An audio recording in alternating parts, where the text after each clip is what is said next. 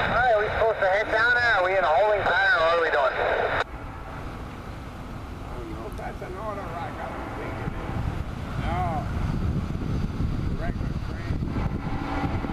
Ground test informing you up, over. Regular train. Alright, what's coming out of here? I don't know what's gonna happen there.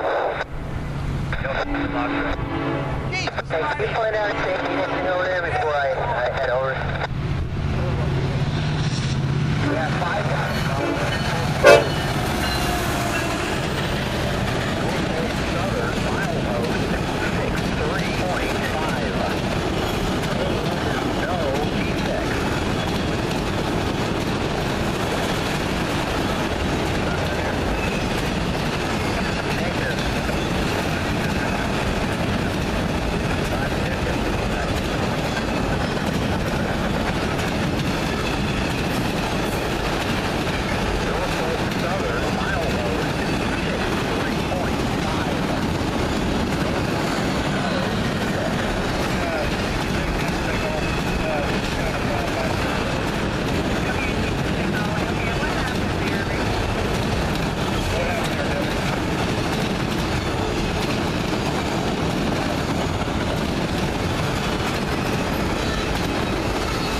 We have a pink air hose underneath the box car.